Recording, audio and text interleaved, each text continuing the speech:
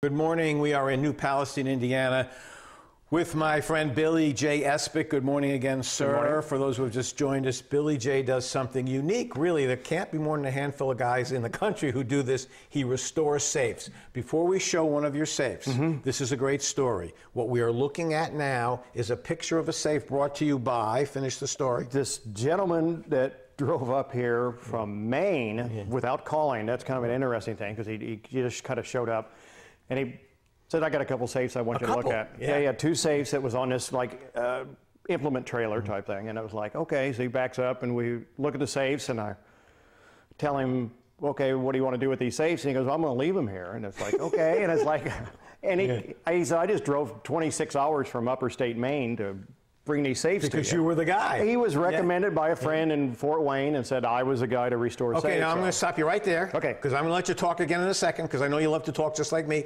Here is what that safe looks like now, correct? Yes. Open the doors, please. Okay, open the doors. Which, And I uh, want you to tell the folks at home, Billy J, what, you come what kind of work it took on this. your part to make this all happen. Okay. Well, this thing was in horrible condition. Mm-hmm. Uh, and you can see that how it was during the and you know during the daytime, and of course a manager would have had a key to open it up to get to the jewelry. In this case, it was watches and jewelry.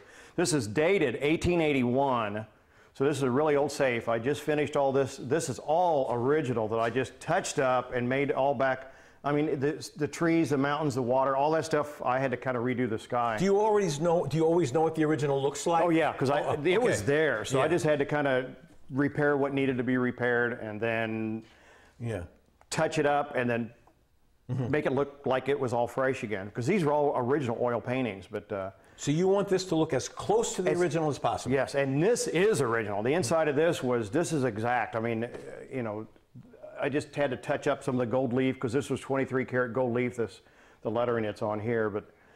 Uh, as you can see, these these safes in that period of time, you walked into a store, you know, you got to think there was no automobiles, there was, other than furniture, it was like, so when you walked into a company, business, whatever, the safes had to be like, wow, because there was color. It, they there were wasn't a lot of color art. back then. They were ornamental as well as utilitarian. Yes, they were fireproof safes. I mean, the thickness of these safes, um, you know, it's six to eight inches of concrete and pla- you know, kind of a concrete plaster mix, and that kept them insulated away from fire because back in that time, everything was heated with wood or coal, so they. Uh, okay, I, we got to take a break here.